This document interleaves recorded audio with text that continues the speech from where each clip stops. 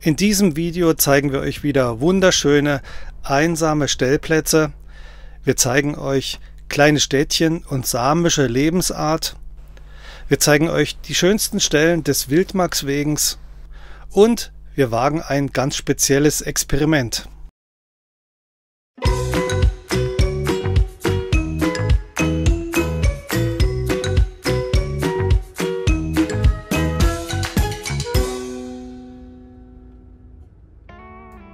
Wir haben den Skulleskogens Nationalpark verlassen und sind jetzt auf dem Weg zum Wildmarkswegen. Bevor wir euch den in aller Ausführlichkeit vorstellen werden, besuchen wir aber noch einen kleinen Übernachtungsplatz auf dem Weg. Dort gibt es alles, was man braucht. Es gibt Stromanschlüsse, es gibt die Möglichkeit zu duschen und es gibt eine Toilette. Man kann Frischwasser tanken und Müll entsorgen. Das Einzige, was fehlt, ist die Möglichkeit, Grauwasser zu entleeren.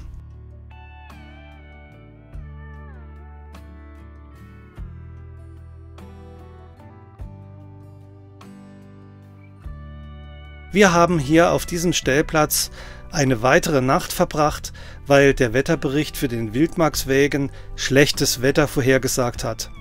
An der höchsten Stelle, dem Stekenjok, waren nur zwei Grad und es war regnerisch und neblig. Wir konnten dagegen hier beobachten, wie der Wind das schlechte Wetter weggetrieben hat und hatten einen herrlichen Sonnenuntergang. Am nächsten Tag ging es dann für uns aber wirklich zum Wildmarkswegen. Wir fahren von Wilhelmina, das ist dort, wo der blaue Punkt ist, nach Strömsund, wo der rote Punkt ist. Die Strecke ist insgesamt 370 Kilometer lang und der Wildmarkswegen ist die höchstgelegene befahrbare Straße Schwedens. Sie wird jedes Jahr erst am 6. Juni geöffnet und immer am 14. Oktober wieder geschlossen. Der Beginn der Tour ist für uns Wilhelmina. Wir besuchen hier das Café, aber auch die samischen Häuser, die noch in einem guten Zustand sind und wir schauen wie immer gern einmal in die Kirche.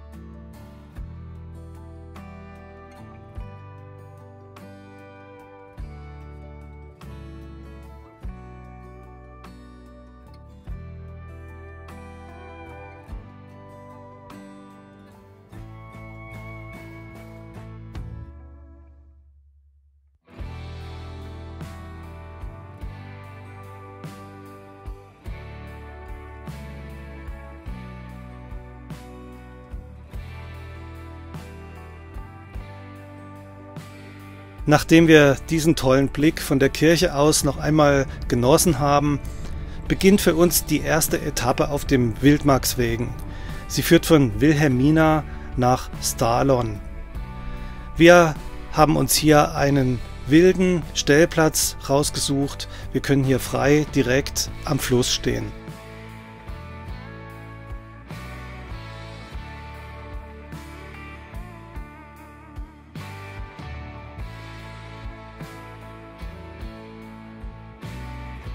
Wir sind ja heute ganz schön lange gefahren und deswegen haben wir uns entschieden, am Abend noch ein Stück zu gehen. Wir laufen drei Kilometer bergauf und sehen hier das erste Mal Schnee und erahnen auch die Dimension dieser Region.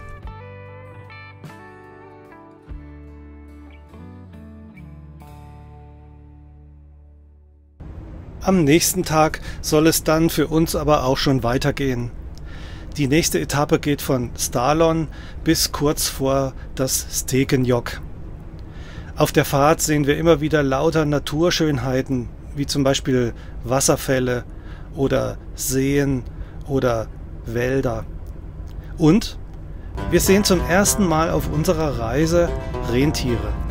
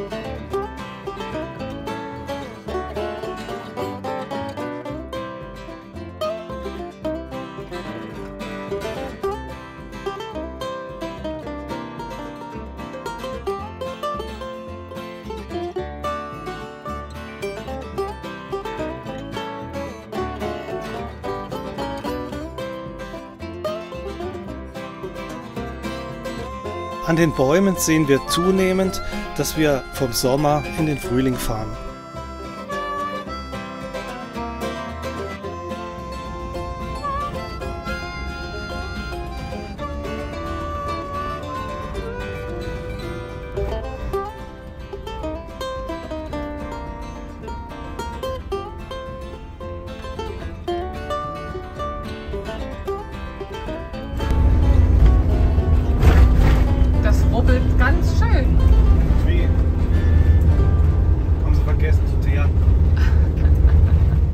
Unser nächstes Ziel ist Fatmo Make. Wir fahren das erste Mal für mehrere Kilometer über eine Schotterstraße. Und hier geht's nur ganz langsam voran. Dafür ist der Ort Fatmo Make aber wirklich interessant. Es ist ein alter samischer Ort und man kann dort noch die Wohnhäuser der Bevölkerung besichtigen und es gibt natürlich wie immer auch eine Kirche.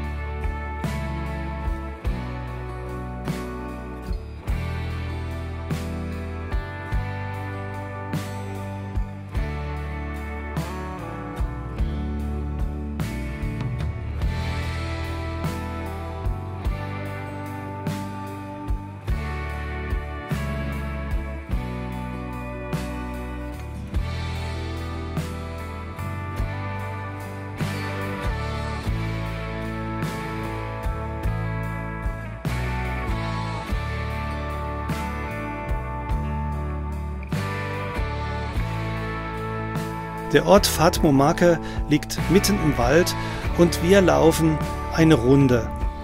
Hier haben wir die Möglichkeit zu sehen, wie traditionell Häuser gebaut wurden und wie Dächer mit Rindenmaterial gedeckt werden. Und wir sehen auch zum ersten Mal Elchkot.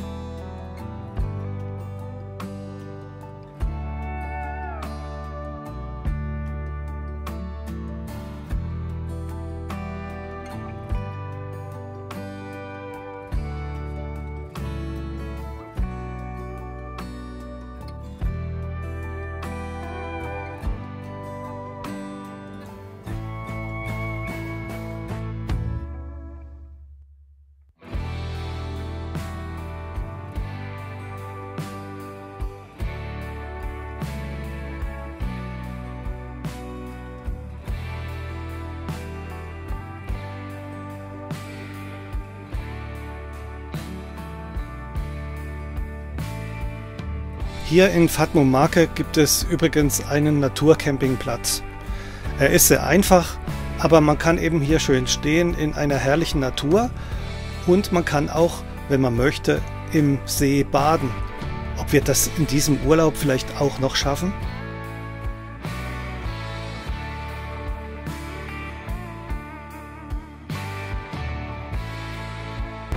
Nach unserem Besuch in Fatmo-Marke verlassen wir den Ort, so wie wir auch gekommen sind, über die Schotterstraße.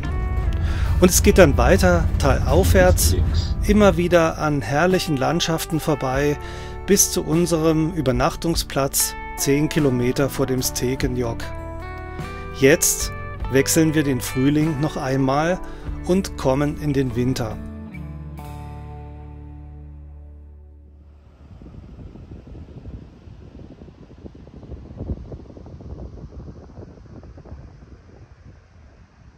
Bye.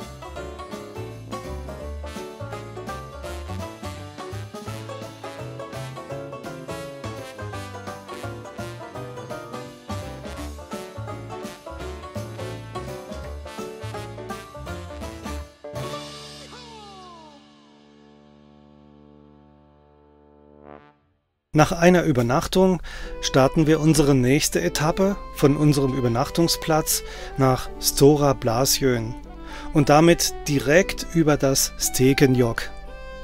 Das Stekenjok ist die höchste Stelle des Wildmarkswägens und sie wurde erst vor fünf Tagen freigegeben. Bis dahin lag hier noch Schnee und ich hatte es schon gesagt, am 14. Oktober wird die Strecke wieder geschlossen. Wir haben diese interessante Landschaft mit allen Sinnen genossen. Erst bei einer kleinen Wanderung durch Eis und Schnee und danach die Fahrt durch diese imposante Landschaft bis zu unserem nächsten Übernachtungsplatz, dem Camp Stora Blasjön.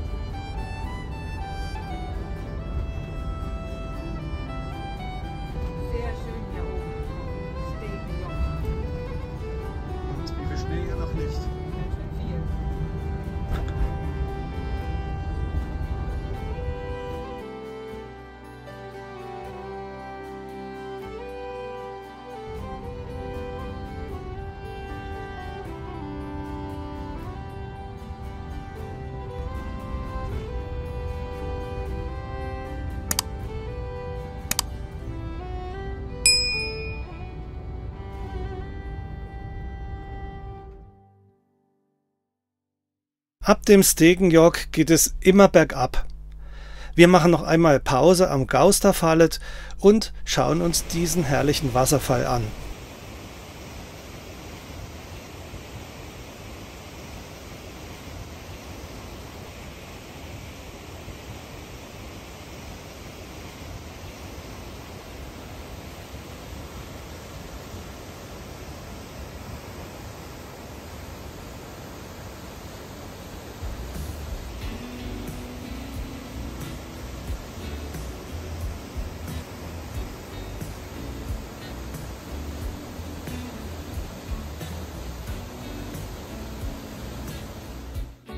Auf dem Camp Stora Blasjön wurden wir sehr freundlich empfangen und wir haben uns hier entschlossen, drei Tage zu verbringen. Nicht nur wegen des schönen Wetters, sondern weil man hier auch einige Dinge anschauen kann, die interessant sind, wie zum Beispiel die Korallgrottan oder den Brackerfallet. Der Campingplatz ist terrassenförmig angelegt und wir hatten das Glück, einen Platz in vorderster Reihe direkt mit Blick auf den See zu bekommen. Hier gibt es alles, was man braucht. Toiletten, Duschen, eine Waschmaschine. Es gibt die Möglichkeit zu versorgen und zu entsorgen und es gibt Stromanschlüsse. In Zeiten, in denen hier viele Touristen unterwegs sind, reichen die zwei Duschen und zwei Toiletten offensichtlich nicht immer aus und man muss dann hier wohl eine Nummer ziehen, so ähnlich wie bei der Zulassungsstelle und dann ist eben einer nach dem anderen dran. Nach dem Frühstück wollen wir heute die Korallgrotte besichtigen. Wir fahren da mit den Fahrrädern hin und damit sie uns keiner klaut, haben wir sie dann im Wald versteckt und natürlich angeschlossen. Wenn ihr also Fahrräder einmal im Wald finden solltet, dann nehmt sie bitte nicht mit, sondern vielleicht könnten es unsere sein. Der Weg zur Korallgrotte führt durch ein mooriges Gebiet und man läuft vier Kilometer auf Bohlen hin und natürlich auch vier Kilometer wieder zurück. Man muss also gut zu Fuß sein, aber es ist eine Wanderung, die sich wirklich lohnt, mit tollen Ausblicken in die wunderschöne Landschaft. Und man wird zum Schluss auch noch vom herrlichen Wasserfall belohnt.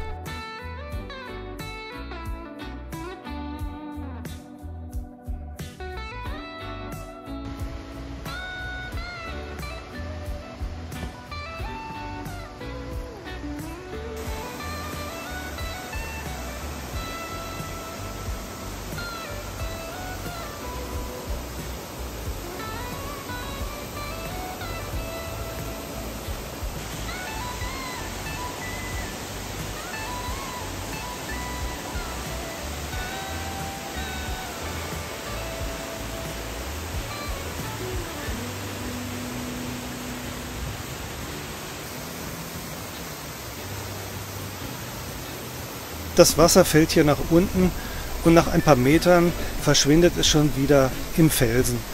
Ich habe einmal die Lautstärke gemessen und mit 93,6 Dezibel muss man sagen, ist das dort schon richtig, richtig laut.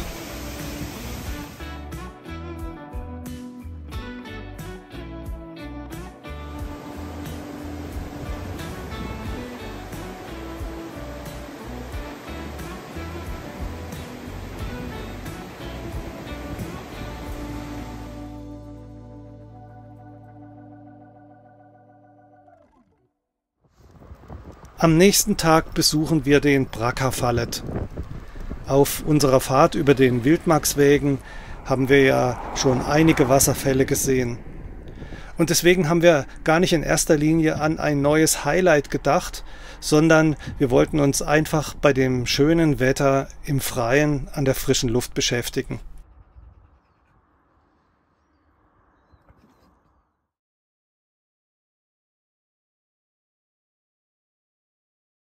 Nur wenige Meter nach Beginn der Wanderung zum Wasserfall sieht man diese Hinweisschilder.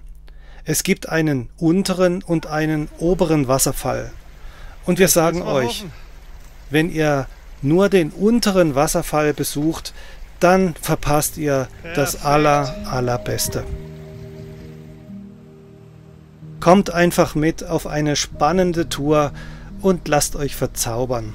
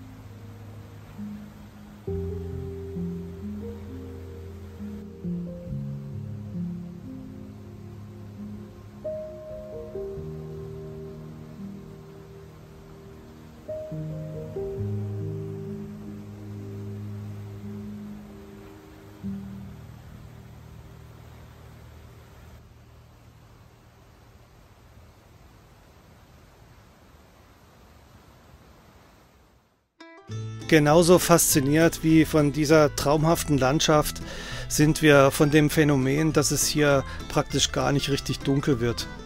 Gegen 2 Uhr wird es dämmerig und um 3 geht die Sonne schon wieder auf. Unsere letzte Strecke auf den Wildmarkswegen beginnt bei Stora Blasjön und endet kurz vor Strömsund. Und wir fahren zunächst wieder auf guter, befestigter Straße und danach aber auf einer Schotterpiste. Die Schotterpiste ist 50 Kilometer lang und, was soll ich sagen, wir haben kein einziges Schlagloch gesehen. Man kann gut 60 bis 70 Kilometer pro Stunde hier fahren. Unser letzter Übernachtungsplatz hier am Wildmarkswegen ist gefunden und es ist wieder ein kleiner idyllischer Ort am Ufer eines Sees und wir stehen ganz alleine hier. Und wir wagen unser Experiment. Halli, hallo. Jetzt sind wir wieder angekommen in unserem nächsten Stellplatz, mitten im Wald an einem wunderschönen See. Und wir sind wieder ganz alleine. Nur ein Grillplatz ist noch da. Und ein paar Mücken. ja, aber was wir, haben wir jetzt vor? Wir wollen jetzt baden gehen. Wir haben uns nämlich extra Neoprenanzüge gekauft. Und ich alte Klapperguste, mal sehen, ob ich das schaffe. Ihr werdet es gleich sehen. Wir werden jetzt ausprobieren, ob diese drei Millimeter dicken Neoprenanzüge die Temperaturen, die hier so in den schwedischen Seen sind, auch wirklich abhalten.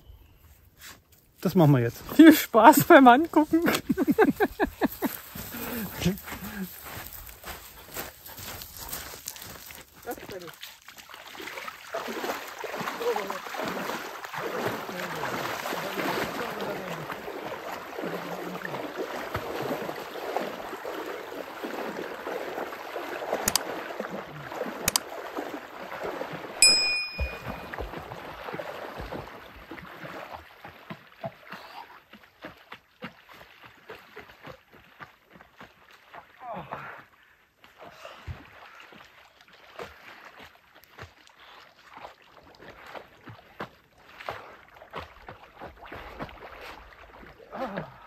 Naja, was ist los?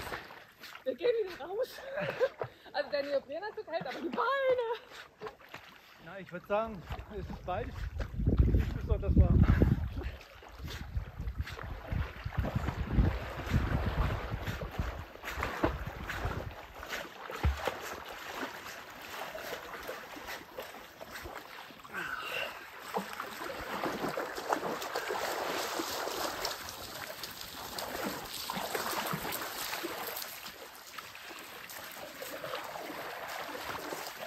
weiter dahin.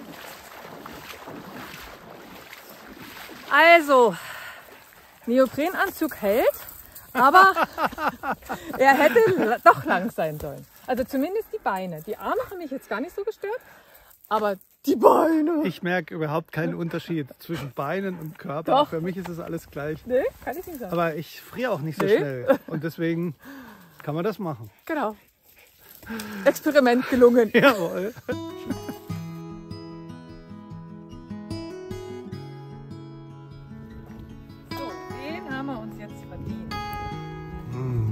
Freue ich mich schon drauf.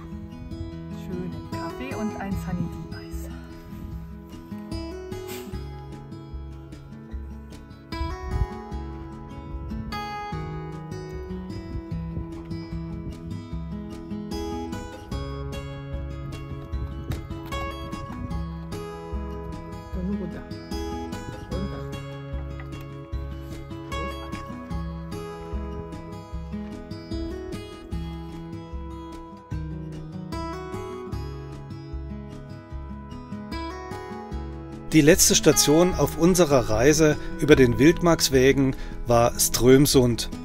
Dort gibt es ein Freilichtmuseum, das haben wir besucht und in dem Café, was auf dem Gelände ist, haben wir es uns ein bisschen gut gehen lassen. Die Gedanken sind noch einmal auf dem Wildmarkswegen gewesen. Unsere Reise geht weiter in Richtung Süden. In unserem nächsten Video werden wir dann schon in Östersund sein. Wenn ihr möchtet, dann kommt doch einfach wieder mit. Für heute möchten wir uns aber wieder von euch verabschieden und sagen deshalb wie immer Tschüss und bis zum nächsten Mal.